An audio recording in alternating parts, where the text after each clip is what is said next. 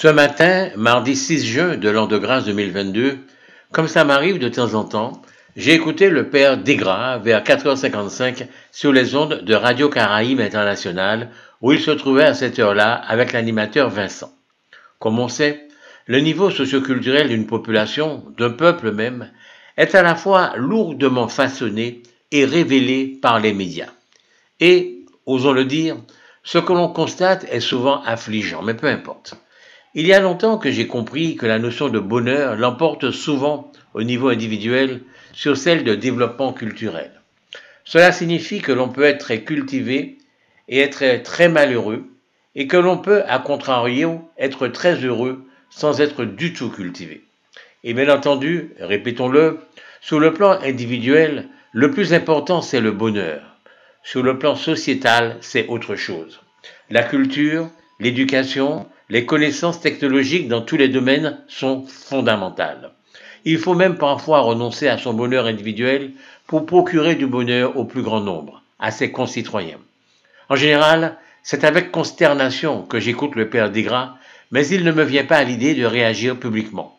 Peut-être donne-t-il du bonheur aux gens, aux gens qui l'écoutent.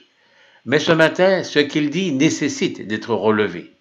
Ce curé a expliqué que Dieu se met en colère et il a laissé entendre que la manifestation de sa colère, de la colère de Dieu, peut être par exemple des tremblements de terre ou des tsunamis, ce qu'on appelle en général des catastrophes naturelles.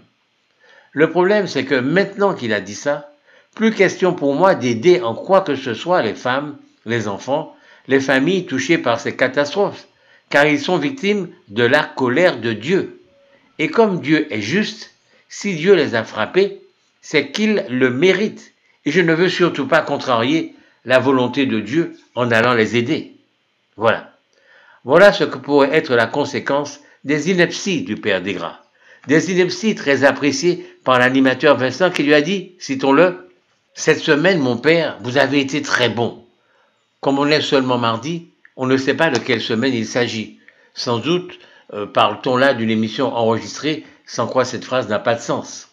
De plus, la terminologie employée est très particulière.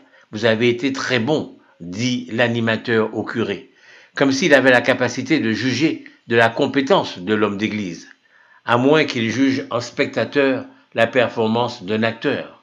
En tout cas, que ceux qui ont écouté l'émission du Père Desgras de ce matin évitent soigneusement de se mettre dans la tête que les victimes de catastrophes naturelles subissent de cette façon un châtiment divin et que donc il le mérite. Sans compter qu'on pourrait étendre ce raisonnement à toutes les personnes malades, à toutes les personnes victimes d'accidents. C'est la destruction assurée de cette solidarité qui crée le lien social, qui permet la vie en société, qui crée l'humanité elle-même. Alors, Père des Gras, de grâce, arrêtez vos sottises.